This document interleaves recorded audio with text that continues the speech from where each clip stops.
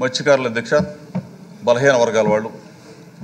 సముద్రంలో వేటకు వెళ్ళే సమయంలో సముద్రంలో వేటకు వెళ్ళిన తర్వాత మరలా ఎప్పుడు వస్తారని చెప్పేసి భార్యాభర్తలు అంటే ఆ భార్య పిల్లలు ఎదురు చూసే పరిస్థితి ఈ పరిస్థితుల్లో పాదయాత్రలో జగన్మోహన్ రెడ్డి గారు సుదీర్ఘ పాదయాత్రలో మత్స్యకారుల సమస్యలు పూర్తిగా అధ్యయనం చేసుకున్న తర్వాత వేట నిషేధ సమయంలో అంతకుముందు నాలుగు వేల రూపాయలు ఇచ్చేవాళ్ళు అధ్యక్ష.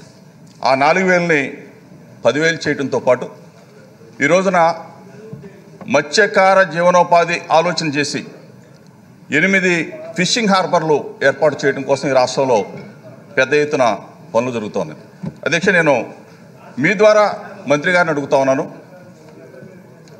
జగన్మోహన్ రెడ్డి గారు ముఖ్యమంత్రిగా కాకముందు మత్స్యకారులు కొంతమంది వేటకు వెళ్ళి బంగ్లాదేశ్ పాకిస్తాన్ తీర ప్రాంతంలో కోస్టల్ ఏరియాలో చిక్కుపోవటం అటువంటి వాళ్ళు అక్కడ పట్టుబట్టం పట్టుబడిన తర్వాత జగన్మోహన్ రెడ్డి గారు ముఖ్యమంత్రి అయిన తర్వాత ఆ జాలర్ని ఎంతమందిని విడిపించారు ఎట్లా తీసుకొచ్చారు తీసుకొచ్చిన తర్వాత వాళ్ళకి ఏ విధంగా ఆర్థిక సహాయం చేసి వాళ్ళని ఇంటికి పంపించామనేది మీ ద్వారా మంత్రి గారు చెప్పవలసిందిగా కోరుతూ అధ్యక్ష ఈ ఫిషింగ్ హార్బర్ల విషయంలో కూడా త్వరితగతిన ఫిషింగ్ హార్బర్ల నిర్మాణం జరిగితే మత్స్యకారులకి జీవనభృతి జరుగుతుంది.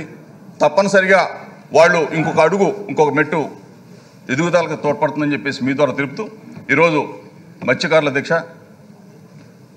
ఇంతకు ముందున్న పరిస్థితుల్లో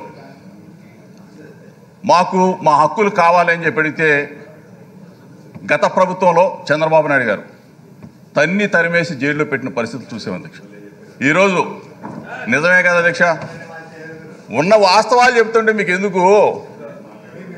ఈరోజు మత్స్యకారుల్ని జగన్మోహన్ రెడ్డి గారు గుండెల్లో పెట్టుకొని చూస్తున్న ప్రభుత్వం ఈనాటి ప్రభుత్వం అని చెప్పేసి మీ ద్వారా తెలుపుతూ నేను చెప్పిన దానికి మంత్రి గారు సమాధానం ఇవ్వాల్సిందిగా కోరుతా ఉన్నా అధ్యక్ష.